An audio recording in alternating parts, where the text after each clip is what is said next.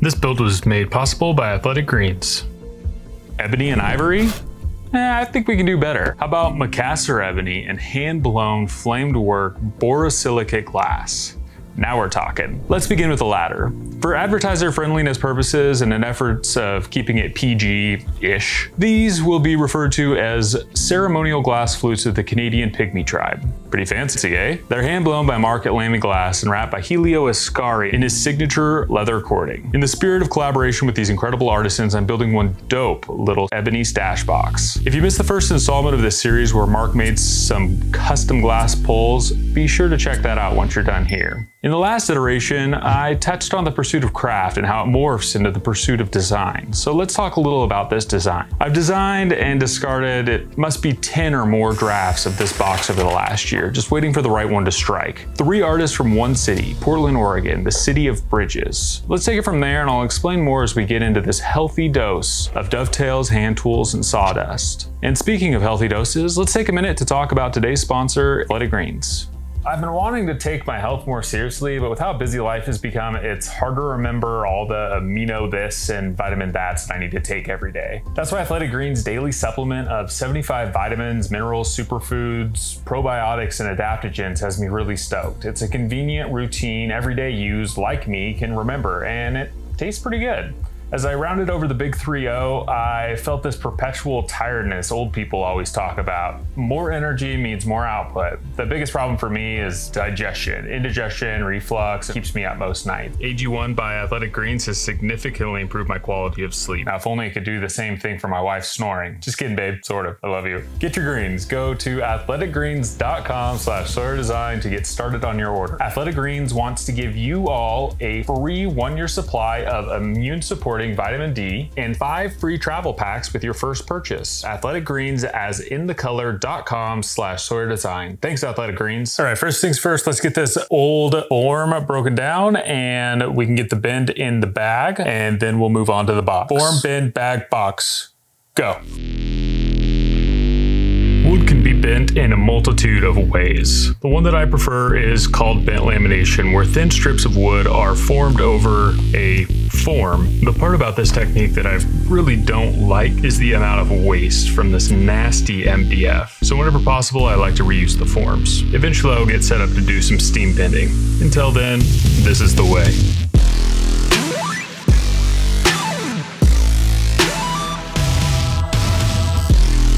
Fine tune on one of them and that's used as a template to transfer to the rest.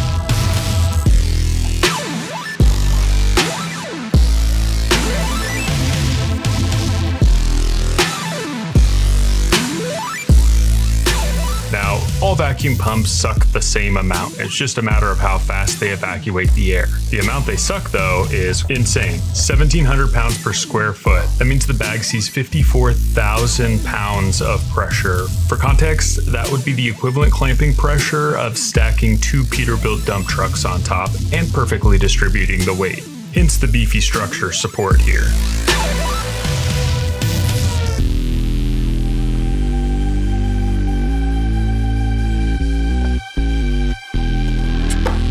I'm gonna do Baltic for the core on the box and we will get there. First, let's bend some wood.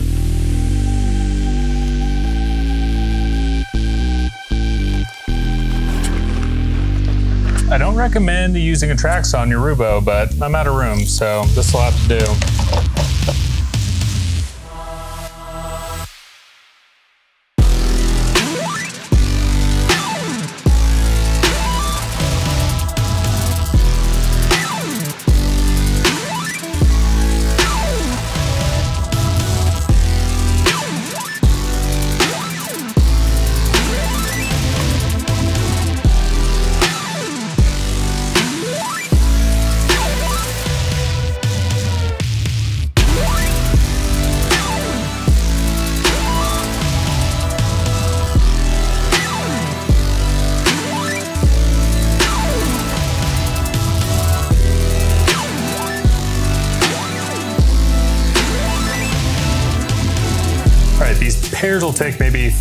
to dry. Uh, I'm just keeping them flat while they do so.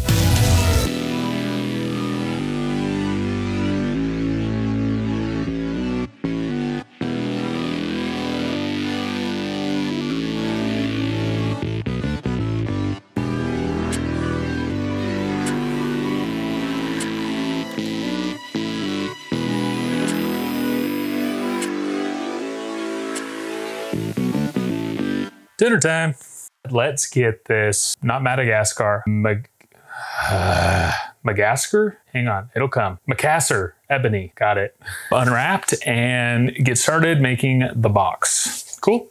Let's do it. One question I get a lot that I don't necessarily agree with is how I get so much stuff done, and that is an easy answer. Two things Adderall and Psytrance.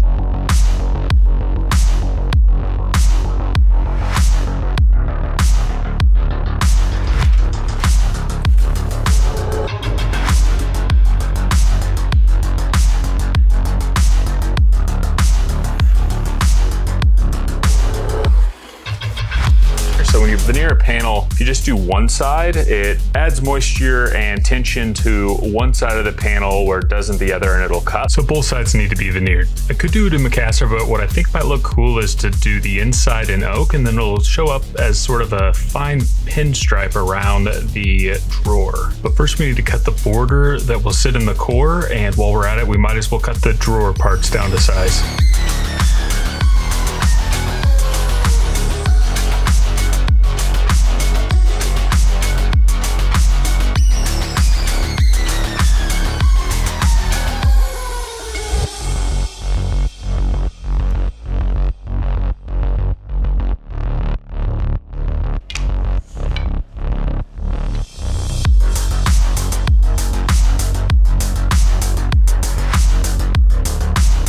Gonna take a minute for that panel to dry. Uh, probably leave it in clamps for about a half hour. Let's get this bent thing out of the form and start cleaning that up. Yep, it's time for my favorite part. Feel like if nothing else, we have to do this for tradition now. Ooh, hang on one sec. Mike, Mike, check. My buddy Nelson, uh, who's been helping me figure out all of this video stuff, brought over his fancy audio equipment. 3D, stereo. I don't know if that's true. Immersion. Immersion. This, This opening opening experience experience. is a little uh, ASMR. I don't know how to ASMR. Are you ready? Wait for it. I said, "Mm, Are you ready? I'm ready. Why does he always hype this up so much? Let's just get this over with.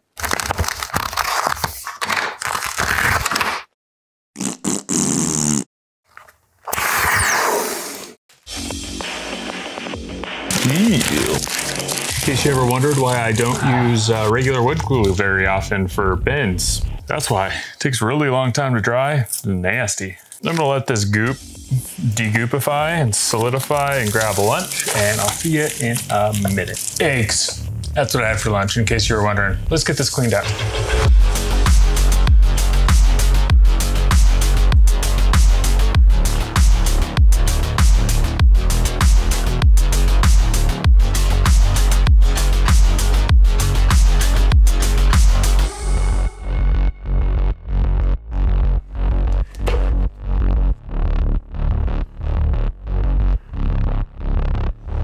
I just love like what that curve on the curve does to the form. Just makes it so much more interesting. What do you think? Uh, let me know down in the comments below. I uh, I dig it. Scrambled, not fried. I'm gonna get this panel out. And actually, why don't we get this veneered? And that sounds like a good game plan. Sound good to you? Cool.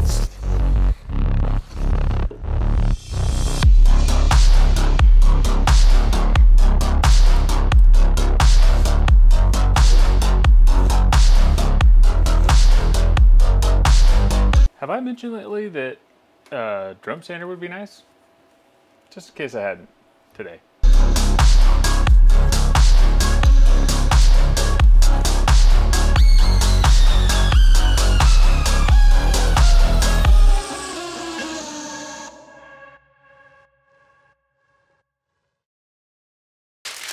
All right, that veneer glue sets up pretty quick. So let's get this uh, panel out and we can make the box.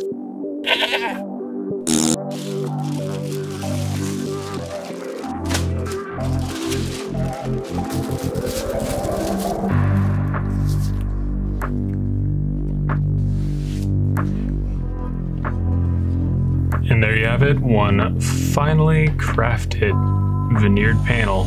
But a panel, a box makes not. So let's get the edges cleaned up and cut some miters. Now it might be because I'm lazy, it might be my aversion to changing table saw blades, but I prefer to cut miters on the router table. Much cleaner.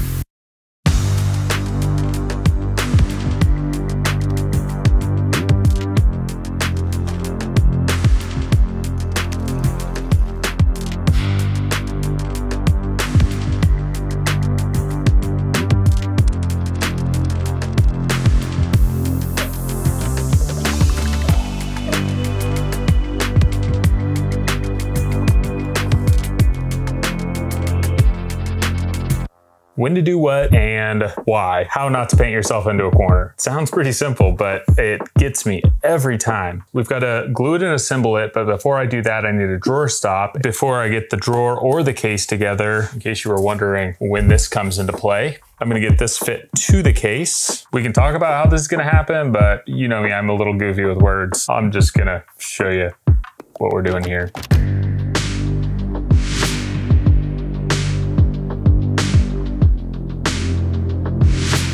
Once removing the tape, I realized I'm gonna need to do something about that glue line that uh, got ripped open by the bag. Always something.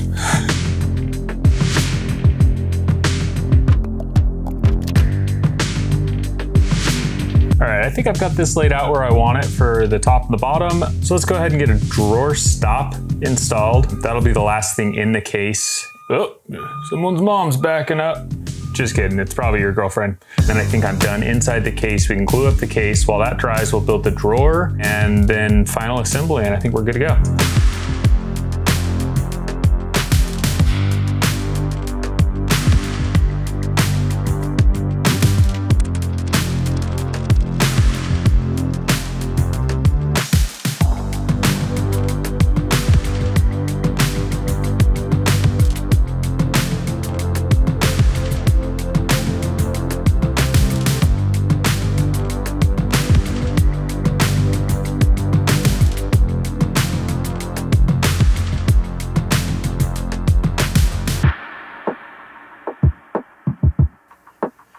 Have to forgive my cuticles, but how sweet are these little drawer snaps? Those will keep the drawer from falling out too far. I was originally going to veneer a back panel for it, and I'm still going to veneer it, and, and it's going to be solid wood, so it's going to need room to expand and contract. So I need to actually slice off some of this bottom panel to allow it to slide up in. It gets a little dicey. With all this time in one panel, mistakes now are devastating. See, the way the front profile on the front of the box curves means this has to be a very particular angle. A small mistake here could mess up the profile for the whole box and I'd have to start from the beginning.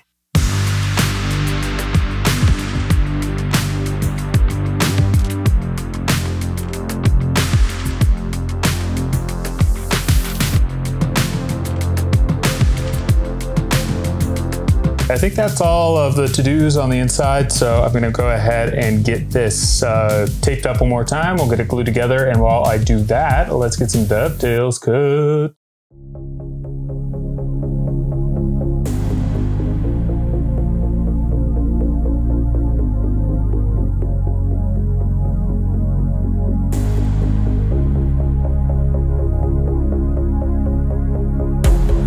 I don't know about you, but dovetails really blow my hair back. Even though I've only been doing this for a few years, there's one question I get repeatedly on social media. If you aren't already, follow me on Instagram, and that is about dovetail layout. For some reason, when you first start out, that step is just absolutely perplexing. And I'm here to tell you, the tails don't matter. This is your template. They can look like gummy bears for all I care. As long as the sides are square to the face, you're good to go.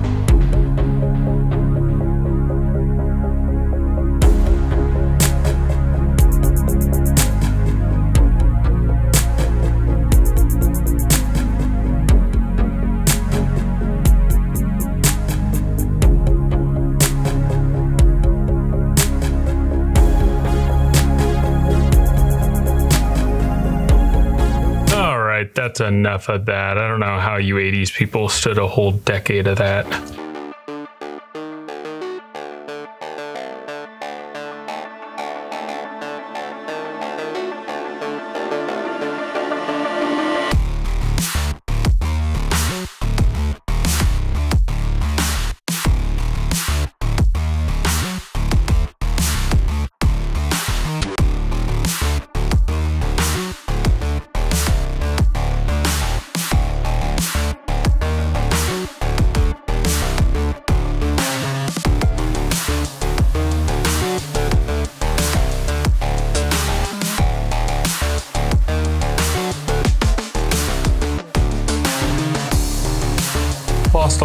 Chunk right there. And I totally forgot about dados and stupid through dovetails. We'll have to fill that. Not a big deal. It's walnut, it'll turn black. You'll never see it. Magic. All right, just got to get the back of the drawers and the bottom done. The slant on the front of the drawers added a considerable amount of difficulty. So with the back, it's all downhill from here.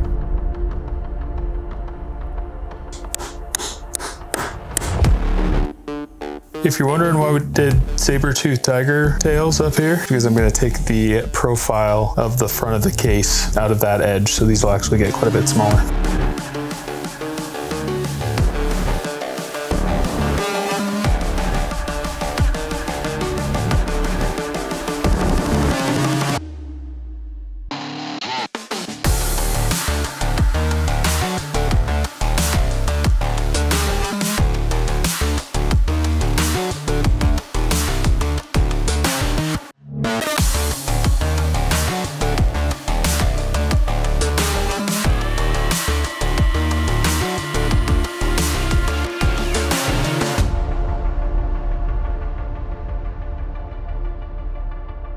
All right, well, those cook. Let's move back to the case and get the hoop fit to the box. If you were paying attention, this is where you might realize I forgot something. We need to do something about that glue line gap. Inlay on a curved surface just sounds like a big old pain in the butt, so I just decided to cut it in half and glue it back together. It works.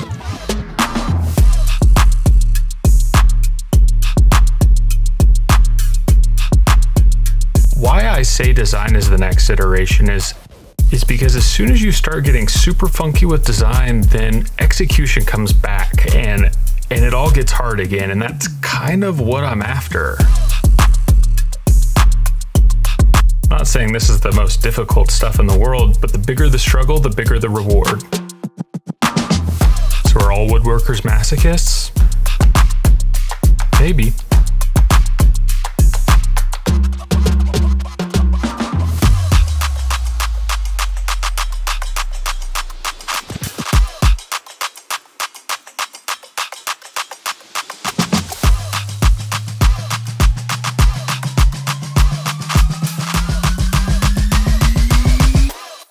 Do you come up with a design? I mean, there's not, there probably is a handbook. It's so nuanced. The smallest thing can generate the spark that ignites a fire. And I don't think there's any hard and fast rules. I like to look for associations, for commonalities, differences, something that stands out and stands apart. Maybe, for example, a city, and a city that's known for bridges. Starting to see those bridgy vibes I'm going for? If not, don't worry because this is a muscle, and like all muscles, they must be used to grow stronger.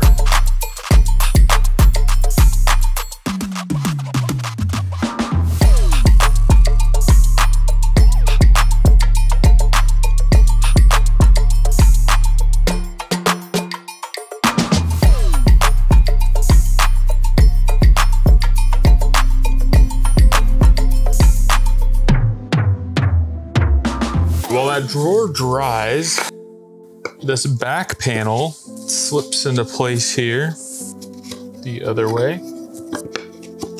And then the trim piece we ripped off the bottom gives that continuous oak border all the way around. But, no. But as we put that border on, it leaves a little gap. Even though it's the bottom at the back, yeah, I don't like that. So I'm gonna fix it.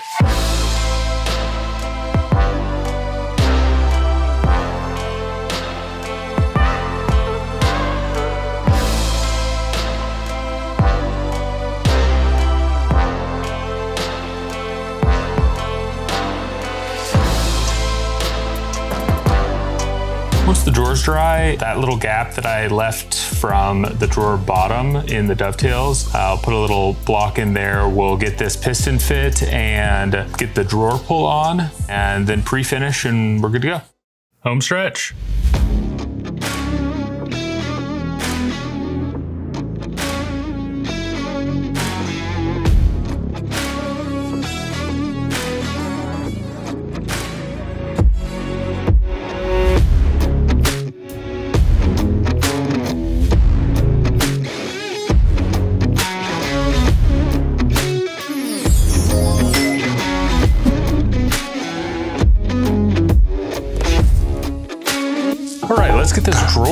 Drawer piston fit.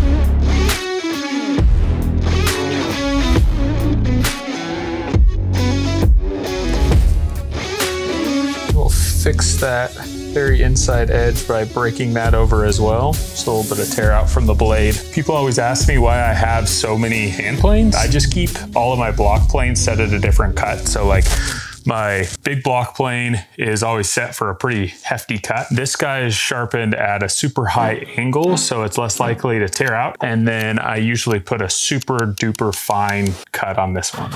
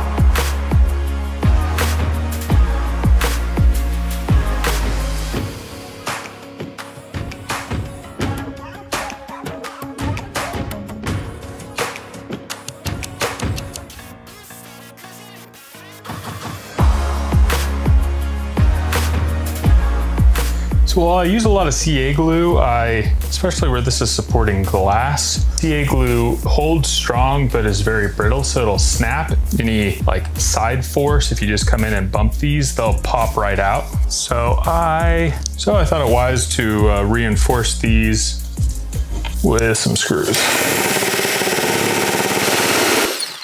Everyone. I just want to say a quick thank you. Thank you so much for watching. If you think I've earned it, please do hit that subscribe button, ring the bell so you get notified when we release upcoming projects like the shark dresser, the Roubo that's going to piss off old people that I'm just excited to share with you. Right now, let's uh, go ahead and check out that B-roll and see how this thing came together. I hope you enjoyed and we'll catch you on the next build. Peace. A box of three artists who got their start in the city of bridges.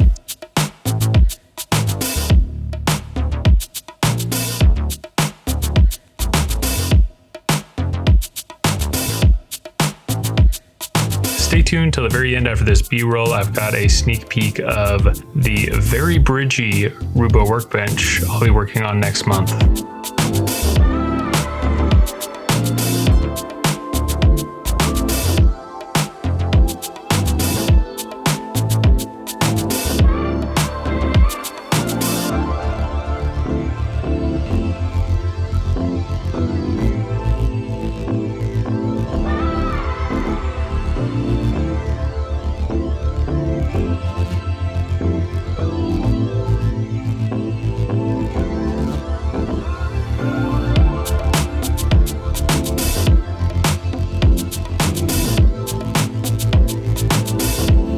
Again for watching. Go back and check that out. You might also really like the Axle and Shadow bent laminated sculpture. Now check this. Now you've heard of a split top Roubo. This is a split top Sawyer. Let me know down in the comments below whether you think this should be split top or solid top. Catch you next time.